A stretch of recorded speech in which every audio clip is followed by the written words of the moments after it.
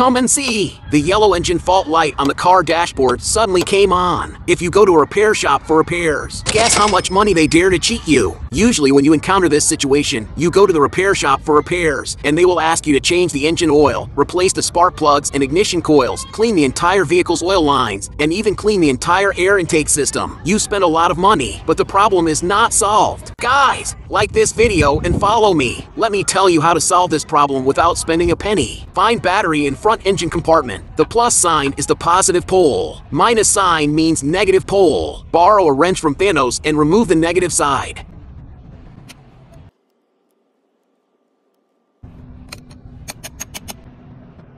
Wait 10 seconds and then install it back.